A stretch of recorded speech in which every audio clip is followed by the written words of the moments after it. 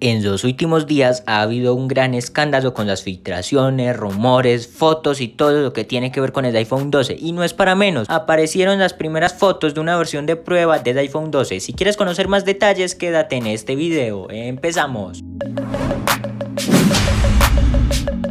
Cabe aclarar que las versiones de pruebas son dispositivos que tienen diferentes características siendo un mismo modelo de iPhone. Desde iPhone 12 existen varios modelos de prueba y nos encontramos de que en este caso Everything Apple Pro nos publicó las imágenes de un iPhone 12 Pro Max de 6.7 pulgadas donde se ve que el notch sigue siendo exactamente del mismo tamaño. Sí, eso de que se iba a reducir y todo el tema, mm, al parecer no, no se va a reducir el tamaño del notch por lo que nos damos cuenta. Y es que nos encontramos con que es un tamaño muy similar a lo que hemos tenido, sino que por alguna razón de perspectiva se ve más pequeño, pero realmente sigue siendo el mismo tamaño de notch. Y como vemos en esta versión de prueba de este iPhone, tenemos habilitado lo de el refresco de la pantalla 120 Hz, pero está deshabilitado lo de refresco automático. Falta esperar al video que dijo John Prosser que tenía acerca del iPhone 12 Pro Max en pleno funcionamiento, que ojalá y esperemos sea otra versión diferente y tenga el notch reducido, porque recordemos, Apple trabaja con varias versiones y no se sabe exactamente es el prototipo final. Eso sí, también hay algo curioso y es que se filtraron cosas sobre esos iPhone y nos encontramos de que Apple va a llamar a esto Super Retina XDR Display, cosa que no viene siendo ninguna novedad porque en el iPhone 11 Pro Max ya lo había llamado de la misma manera. Lo que sí viene a confirmar esto también, aparte de lo más confirmado que estaba, es que el cargador no va a venir en la caja de esos dispositivos. Y bueno, hasta aquí pequeño video del día de hoy. Si te gustó, recuerda dejar tu like, suscribirte y comentar. Hasta la próxima. Sim.